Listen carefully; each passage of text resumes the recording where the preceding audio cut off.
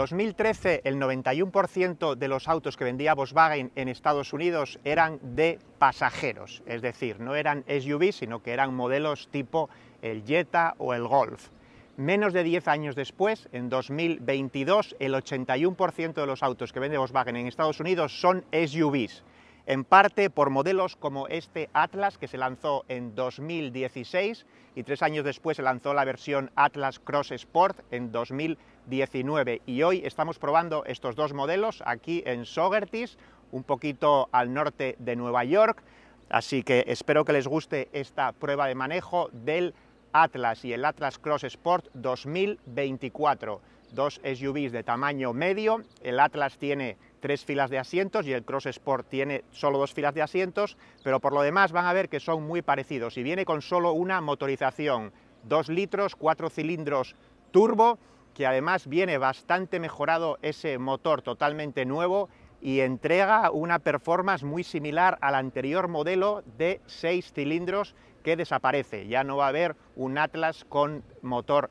V6. Así que suscríbanse al canal, como les digo siempre, vamos allá. No hay grandes cambios respecto al modelo anterior en cuanto al diseño exterior, el logo que se ilumina es quizá lo más llamativo y una luz que va de lado a lado ahí por encima del logo, vean la parrilla que combina eh, esos negros con esos cromados brillantes, sensores de aparcamiento, este es el modelo R-Line, que es el tope de gama. Si nos vamos aquí a las ruedas, esos rines son de 21 pulgadas, tenemos rines desde 18 pulgadas en la versión más entry level hasta 21 pulgadas, aquí en el lateral se puede ver el trim, hay un trim SE, SEL y este como digo es el R, en el retrovisor tenemos por supuesto la luz del intermitente, cámara lateral y si nos vamos para atrás, hasta aquí por cierto, hasta el segundo pilar, este auto, el Atlas y el Atlas Cross Sport son exactamente iguales. Después veremos que la parte de atrás cambia un poquito, esa ventana aquí en el Atlas es algo más grande, porque es un poco más largo hacia atrás para poder meter esa tercera fila de asientos y este modelo es un 4Motion, es decir, es un tracción a las cuatro ruedas. En las dos versiones superiores solo hay opción all-wheel drive, pero en las versiones más básicas se puede conseguir tanto en versión de tracción delantera como en versión tracción a las cuatro ruedas. En la parte de atrás vemos que ahí está Atlas, el modelo, ese logo también se ilumina y esa luz roja va de lado a lado, es también una novedad de diseño Aquí vemos que el limpiaparabrisas trasero está aquí abajo, tiene un pequeño spoiler con una luz de freno ahí arriba, se podría haber escondido, como siempre digo. El limpiaparabrisas queda más elegante. Y llamativos aquí los escapes, ese doble escape cromado a cada lado. Y como ven tiene para enganchar un trailer este auto con este nuevo motor de 2 litros, tiene una capacidad de remolque de 5.000 libras. Aquí los bajos laterales tiene ese embellecedor cromado y aunque tiene cierta capacidad off-road y tiene un modo off-road también, la zona de abajo no viene realmente protegida como para sacarlo fuera de pista. Así que esto es más bien un SUV tamaño medio, aunque ya saben, son estos un SUV de tamaño medio, pero que tiene tres filas de asientos, a mí siempre me cuesta, me parece que es un SUV grande, pero técnicamente es el segmento mid-size, pero esto es un auto más bien familiar y no tanto para la aventura. Capó esculpido, vean esas líneas ahí, esto es una tendencia que ya la mayoría de los autos están viniendo así, le da un poco de aspecto más agresivo y se supone que ayuda también para que desde la posición del conductor tengamos más puntos de referencia con la carretera. Todos los faros, todas las luces son LED, LED y viene además con luces de niebla, pero están todas ahí en esa zona superior. Todos los nuevos modelos de Volkswagen están viniendo con el logo iluminado, vean aquí, pero como este es de gasolina y no eléctrico, hay una diferencia. No está iluminada la letra en sí, sino el borde de la letra. Si esto fuera un ID4, o un ID Bus, los vehículos eléctricos, sería diferente cómo se ilumina el logo. En el interior quizá hay más cambios que en el exterior respecto a la versión anterior, sobre todo en mejora de materiales. Vean aquí estos asientos de piel perforada, que además vienen estándar en todas las versiones con calefacción y ventilación, algo raro de ver. Este además viene con, por supuesto son eléctricos, con memoria, se mueven en un montón de direcciones, el volante es de piel y tenemos ahí una pantalla de 12 pulgadas táctil y después este panel de instrumentos del conductor de 10.25 pulgadas, que además se puede personalizar de muchas formas. Pocos botones físicos, aunque vean por ahí algunos, en realidad son como más táctiles, que no me gustan demasiado. Ahí abajo, al lado de esas salidas de aire, tiene cargador wireless y vean esas conexiones USB-C, no tiene el USB normal, solo tiene el pequeño, pero tiene bastante potencia, 45 vatios, o sea, carga rápida para laptops o eh, celulares. Después en esta zona del centro la palanca de cambios, que es prácticamente esa cosita ahí chiquita, vean ahí. Luego tiene eh, para arrancar el, botón de arrancado, eh, es ese de ahí, Engine Start Stop. El freno de mano aquí debajo, también la posición de parqueo, posavasos, un hueco ahí para meter unas gafas o las propias llaves y después aquí en el medio, otra vez bastante amplio y otro conector ahí USB-C. Por lo demás, se nota, por ejemplo, esto que parece madera, es bastante elegante, en realidad es un plástico, no se crean, y viene con un sistema Premium Audio Harman Kardon, véanlo ahí,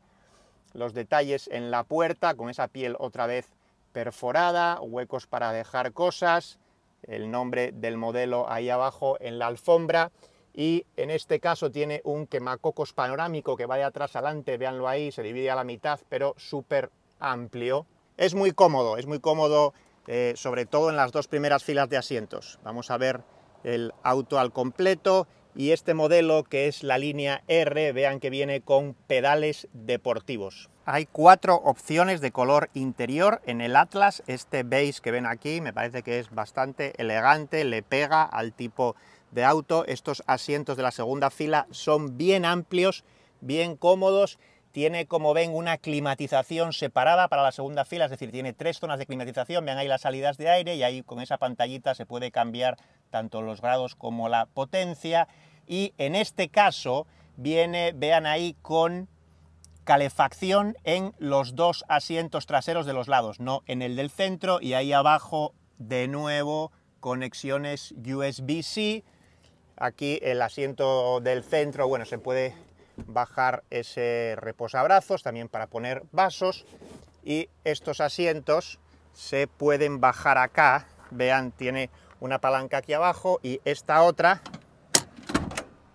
que muy fácil para pasar a la tercera fila de asientos, vamos a subirnos, nos vamos a poner detrás de este para ver el espacio exactamente, a ver si lo pueden ver ahí, como ven estoy en la tercera fila de asientos y me están pegando las rodillas con el asiento de delante. Es utilizable, no es que no exista eh, eh, espacio suficiente para dos adultos acá, pero bueno, está bien justito, quizá mejor para niños. Y por lo demás, eh, esta piel no es exactamente la misma piel que llevan los asientos de delante y los dos de los lados de la segunda fila, es un poco de menos calidad, pero siguen siendo asientos de piel y también se debería poder abatir. Y vean, ahí se abaten 50-50, la última fila de asientos. En la ventana de la segunda fila tenemos estas cortinillas aquí para reducir la entrada del sol y también para más privacidad. Y en la parte de atrás, que también se ha rediseñado la parte del logo y de las luces, vamos a abrir eléctrico el maletero y vean que claro, con la tercera fila de asientos arriba, pues el maletero para el tamaño de este auto se queda un poquito corto, aunque no es que se quede absolutamente sin maletero, como hemos visto en otros SUVs, que es que no hay nada. Aquí por lo menos eh, un par de maletas carrión de las pequeñas caben, y esto se puede abatir, y aquí ahora sí tenemos un maletero de verdad y para subirlo bastante fácil porque tiene estas correas acá.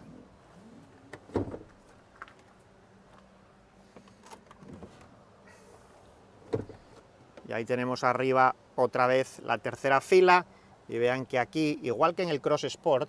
tiene una entrada de 12 voltios, no sé qué tan útil es aquí atrás, una pequeña luz para el maletero a cada lado. Y luego aquí debajo tenemos el neumático de repuesto, ahí el gato, aunque no se ve, pero está ahí debajo. Vean, ahí, ahí debajo de esa alfombra está el neumático de repuesto, que también lo tiene la versión Cross Sport, que la pueden ver en otro vídeo que tenemos aquí en el canal. Y ahí cerramos el maletero, que también se podría cerrar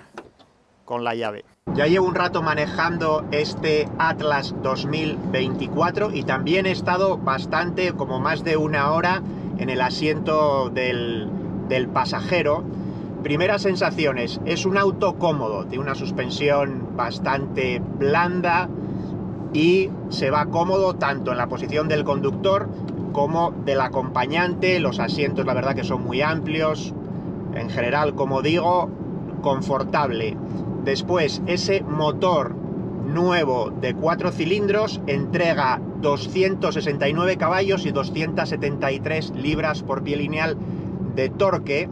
que curiosamente en cuanto a caballos está un poquito más corto que el V6 de la generación anterior, porque la generación anterior tenía las dos opciones, la V6 y la 4 cilindros, pero incluso este motor que es 4 cilindros tiene casi la misma potencia, son como solo 7 menos, pero tiene un poquito más de torque. Esas 273 libras por pie son más torque que el 6 cilindros de la generación anterior. Se pone de 0 a 60 millas por hora en 7,6 segundos si es eh, tracción delantera y en 7,5, una décima menos, si es tracción 4 como este modelo R que estamos probando. Y después, en cuanto a consumos, el tracción delantera entrega 20 millas por galón en ciudad, 27 millas por galón en carretera, 23 millas por galón en uso combinado. Y si nos vamos al tracción 4, le podemos quitar más o menos una o dos millas por galón, eh, un poquito menos eficiente. Así que bueno, para el tamaño que tiene, eh, pues un consumo normal. La verdad que no es muy eficiente, no hay una versión híbrida, es un motor solo gasolina. El Atlas 2024 viene en cuatro versiones o trims diferentes. El SE es el más básico, arranca con tracción delantera en 37.725 dólares. Si le quisiésemos añadir la tracción a las cuatro ruedas, son 1.900 dólares más. Después está el SE con el paquete Tech que arranca en 41.600, o sea, 4.000 dólares más, y después los dos trims superiores, que son el SEL y el SEL Premium R, que es el que estamos manejando, ahí ese ya solo viene en tracción a las cuatro ruedas, y uno, el SEL, son 48.400 dólares, y el más caro, este que estamos manejando, se va hasta 52.455. Para mí, eh, el S con el paquete de tecnología, si, si queremos la tracción 4, 43.565 dólares, es decir, 9.000 dólares más barato que este, puede ser una buena opción. Por muy barato que nos vayamos, como hay que añadirle además 1.350 dólares de envío a destino, vamos a estar entre casi 40.000 dólares hasta arriba de 52.000, con lo cual más o menos se mueve todo en unos 15.000 dólares, entre el más básico y el más alto, que me parece que para todas las opciones y los rangos que hay está bien de precio. La pantalla central que ven ahí con la navegación es de 12 pulgadas, la verdad que se ve muy bien, no me gusta mucho la integración que tiene, pero bueno, no está mal. Eh, los botones eh, o no botones porque son como táctiles haptic aquí me parece que son no muy fáciles de usar. Me gustaría que fueran botones físicos sobre todo para las cosas que más se utilizan como subir y bajar la potencia del aire o la temperatura y después tenemos el panel de instrumentos aquí detrás del volante del conductor que es de 10.25 pulgadas. Es personalizable y en color y además con estos botones de aquí de la zona de la derecha del volante es muy fácil eh, pues cambiar eh, las cosas que se ven, se puede poner la propia navegación también, las revoluciones, la velocidad, etcétera. La verdad que eso me parece que está muy bien conseguido. Este volante es de piel y luego en la zona de la izquierda tiene lo que son las ayudas para la conducción como la velocidad de control de crucero adaptativa que además dice que es predictiva que no lo hemos podido probar mucho, pero se supone pues que bueno, eh, saben leer un poco cuál es el tráfico, si, si adelante están frenando o no, y también si vamos a entrar en una zona de una máxima velocidad más baja. Todos los modelos del Atlas y el Atlas Cross Sport vienen con el sistema eh, IQ Drive de Volkswagen estándar que incluye pues los elementos de seguridad y tecnología que se pueden imaginar, ¿no? Mantener el auto entre líneas, el freno de, emergencia, el aviso de punto ciego, etc. Otra cosa que me llama la atención es lo poco ruidoso que es este motor. Si lo comparamos con los motores V6, desde luego hay gran diferencia y de hecho se escucha más el ruido de los neumáticos en, la carretera, porque estamos yendo por algunas zonas en las que no está tan bien bacheada la carretera y casi se escucha más ese ruido del neumático que el ruido del motor y en los diferentes modos de manejo que tiene Eco, por supuesto más eficiente, ya saben que ahí se reduce la reacción al acelerador fundamentalmente, Después tiene el modo confort, que es el, básico eh, con el que arrancamos, que no tiene mucho más. Y el modo sport, que lo que hace fundamentalmente es que es un poco más sensible el acelerador, entrega más potencia eh, pisando menos y los cambios de marchas de esa transmisión manual de 8 velocidades entran un poco antes, así que cambia un poco el ratio de esas marchas para que el auto esté más revolucionado. Luego en el volante no estoy encontrando mayores diferencias en los diferentes modos de manejo. Y también hay un modo de manejo eh, en el que uno ajusta a sus preferencias, es como el custom, ¿no? Ajusta a sus preferencias de manejo manualmente y hay otro off-road y otro para nieve. Para cambiar los modos de manejo hay que ir a este botón aquí abajo que están como un, poco separados entre las dos salidas de aire y entonces se activan aquí en la pantalla y en la pantalla es donde se cambian. A ver, no es que sea complicado, pero me hubiese gustado más tenerlos en, el volante. Fíjense que al poner el modo Sport aquí en el clúster, en el panel de instrumentos, cambia el color a rojo y cambia un poco la información que te da. Esta es la versión Peak Edition, una edición especial, que además se puede ver aquí el nombre en este badge que tiene ahí en el lateral, que en realidad, aunque luce más de aventura y además le han eh, metido dos colores específicos que solo se encuentran en esta Peak Edition, que es un gris y este verde aguacate, no, no, añade nada de performance off-road, es básicamente lo mismo, lo único que aquí los rines vienen de 18 pulgadas, tienen un ancho de 2,55, tienen como esa... Eh, que parece que es una protección esa parte de abajo, pero en realidad protege poco, todo es más estético para que luzca más de aventura y solo está disponible en las versiones intermedias, en la SE con el paquete Tech y en la SEL. Y añade un poco de precio sobre la versión normal, esta Peak Edition, en la versión S 46.555 dólares y en la SEL 50.435. Aquí tenemos otro Atlas Peak Edition, pero lo curioso, esto no es que sea exclusivo del Peak Edition, pero vean que lo tienen montado con tres asientos de niños en la segunda fila, casi nada, pero lo interesante, y esto se ve en muy pocos autos, es que teniendo montado el asiento del niño, podemos bajar, vean ahí, podemos bajar la segunda fila y todavía hay espacio para poder pasar a la tercera fila sin tener que desmontar los asientos. Desde 2017 el Atlas y después, poco más tarde, el Cross Sport han vendido 494.000 unidades en Estados Unidos y ya tienen, según Volkswagen, el 6% del segmento de los 6 UV de tamaño medio. Este auto se fabrica en la planta de Chattanooga, donde ha hecho una gran inversión de más de mil millones de dólares allí Volkswagen en los últimos años y está pensado para Estados Unidos, o sea, es un SUV eh, diseñado y pensado para el mercado de Norteamérica, se vende en Estados Unidos, en Canadá, en México también y en Medio Oriente.